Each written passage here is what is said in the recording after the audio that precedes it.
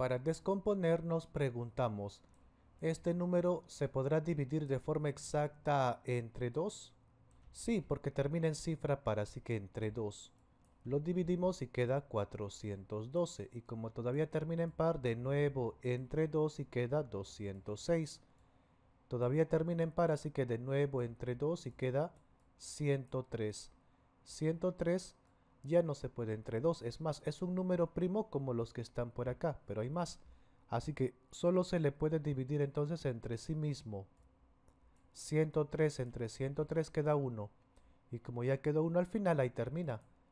Y por acá se colocan estos números, pero una sola vez cada uno, así con multiplicación.